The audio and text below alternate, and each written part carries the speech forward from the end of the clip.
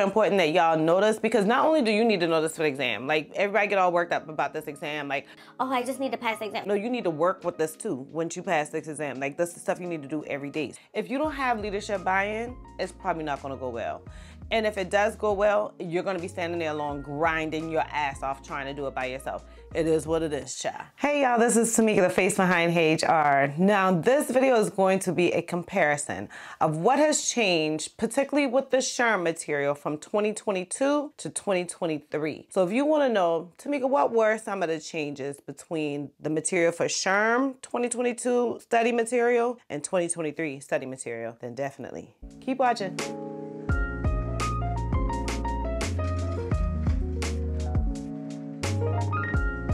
So this makes my third or fourth year creating these notes overall. Now this makes only my second or third creating them for the public, like for anyone to be able to buy them, sell them, use them. But each year I do a comparison between the materials from one year to the next. And so I've done that video before on what changed from 2021 to 2022. Now we're gonna talk about what changed from 2022 to 2023. And it's a lot. I wasn't expecting as much. More so like tedious stuff, not necessarily a big picture on the materials. So I'm just gonna run through notes because as I was creating the new notes, I was just just like writing stuff down. And so it's kind of all over the place. I'm gonna, I try to keep it as, as in order as I can, but it is what it is, child. I literally just finished the last bit of those notes. I still have more to do, so they're not gonna be available until the 24th. Matter of fact, let me check that date. Make sure I'm lying. Yeah, HR's new study materials, the study notes for your HR certification, is going to be available Wednesday on March 24th. So I'll go live several times up until these notes are available, definitely the night before. If you want to get a discount, a discount on the new notes, not the old notes, it's only going to be one day. Literally on the 24th is the only day that you're going to be able to use this discount code. Then definitely get on my email list because only folks on my email list getting a discount code.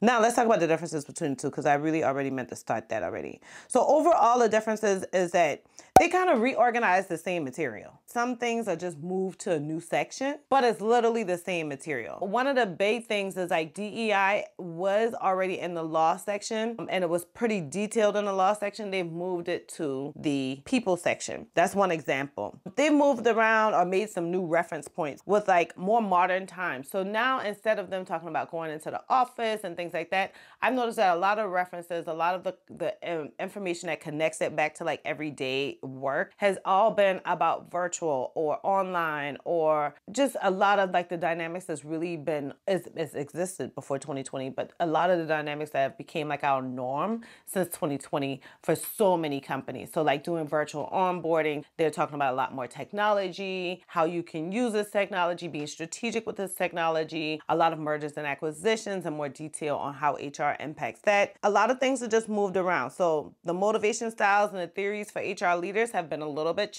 different. What you're going to do and the concept that they're applying those motivational theories or the motivational style or the theories to is still the same concept. It's still the same information. They give that motivational stuff or those theories or those overviews or those concepts to help you understand that information and everyday knowledge. The still the stuff that you need to know is still the same, guys. It's still the same. Don't get excited. The next thing is that they provide more examples that match current time. So I guess that kind of goes with the new reference points. I noticed that the examples are more modern modernized too. So I'm happy to definitely see that. There's an additional emphasis on ethics within HR pros and their work. And I think that that's amazing.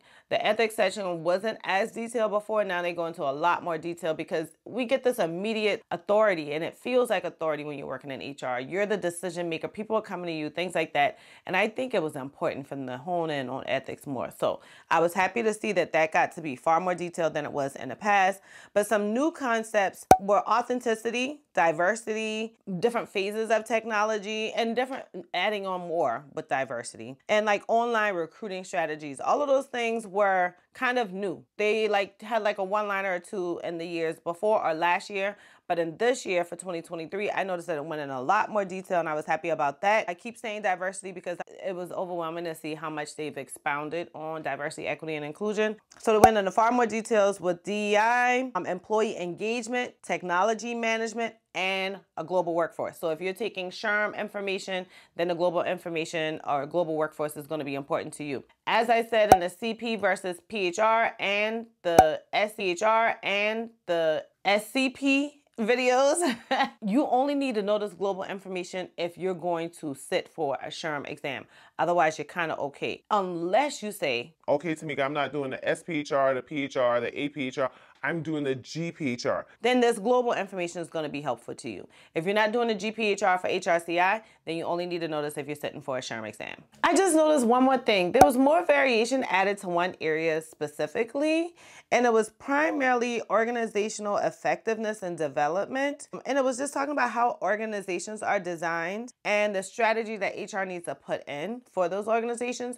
I thought that was good. That's very, very, that's very, very global because you don't have to do as much organizational design and development when you're with a company that's not really, really changing.